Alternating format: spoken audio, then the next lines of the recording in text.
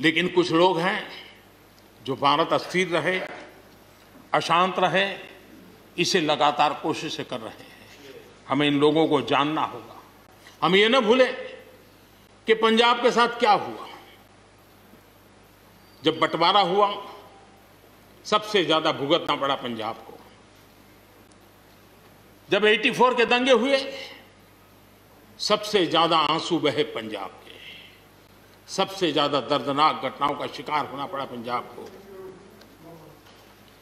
जो जम्मू कश्मीर में हुआ, निर्दोषों को मौत के घाट उतार दिया गया। जो नॉर्थ ईस्ट में होता रहा, आए दिन बम बंदूक और गोलियों का कारोबार चलता रहा। ये सारी चीज़ों ने देश को किसी न किसी रूप में बहुत नुकसान किया है। इसके पीछे कौन ताकतें हैं? हर समय हर सरकारों ने इसको देखा है, जाना है, परखा है।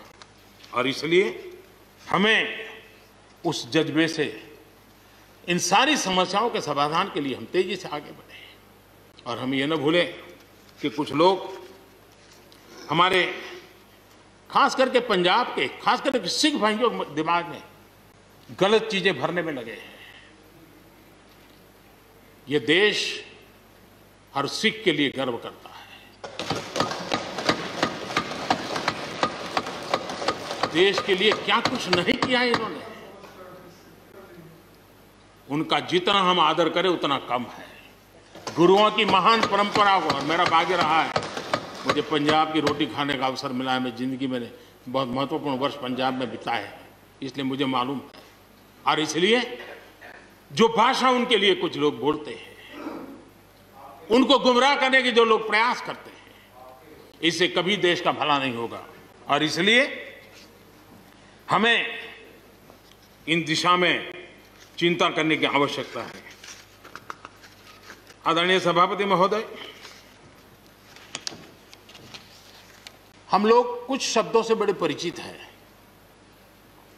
श्रमजीवी, बुद्धिजीवी, ये सारे शब्दों से परिचित हैं। लेकिन मैं देख रहा हूँ कि पिछले कुछ समय से इस देश में एक नई जमात पैदा हुई। एक नई बिरादरी सामने आई है। और वो है आंदोलन जीवी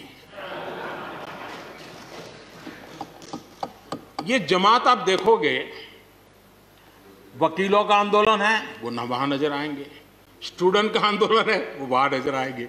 मजदूर का आंदोलन है, वो वहाँ नज़र आएँगे। कभी पर्दे के पीछे, कभी पर्दे के आगे।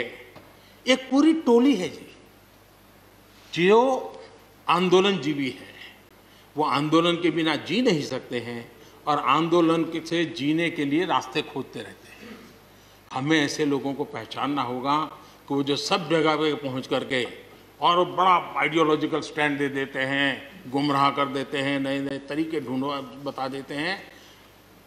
देश आंदोलन जीवी लोगों से बचे, इसके लिए हम सबको, और ये उनकी ताकत है, उनका क्या है? खुद खड़ा नहीं कर सकते चीज़ें। किसी की चल रही तो जाके बैठ जाते हैं। वो अपना जो जितने दिन चले, चल जाता है उनका। ऐसे लोगों को पहचानने की बहुत आवश्यकता है। ये ये सारे आंदोलन जीवी परजीवी होते हैं।